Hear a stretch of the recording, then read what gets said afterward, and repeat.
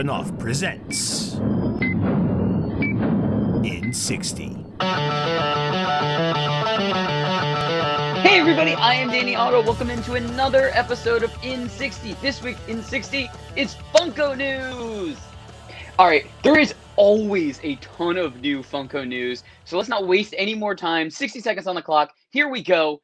Panini America and Funko have introduced a new collectible for sports enthusiasts and Funko enthusiasts. It's Funko Pop trading cards. Funko Pop trading cards will extend across multiple sports later this year. The initial series will feature six NBA players and six NFL players and will hit retail shelves in time for the holiday season. Dead by Daylight Funko Pops are coming. Dead by Daylight will be one of the latest pop culture properties to get its own line in Funko Pops, according to the game's creator. There are a ton of reveals from Funkoween 2021. Here are a few of my personal favorites that I'm looking forward to hopefully getting a chance to get.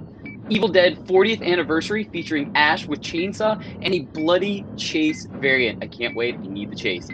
Glow in the Dark Marvel featuring an Entertainment Earth exclusive, Glow in the Dark Zombie Thor, and a Hot Topic exclusive Red Hulk. Mm. Oh man, I had so much more Funko news to get through. Funko is an incredible company. They always have tons of new announcements and tons of new waves for our, our favorite pops and our favorite TV series and movies and everything like that.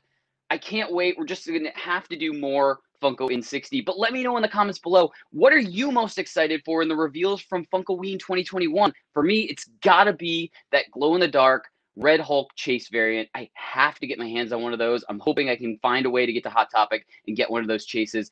As always, don't forget to like, subscribe, and turn on notifications to hear about all of our latest video releases. Bye, everybody!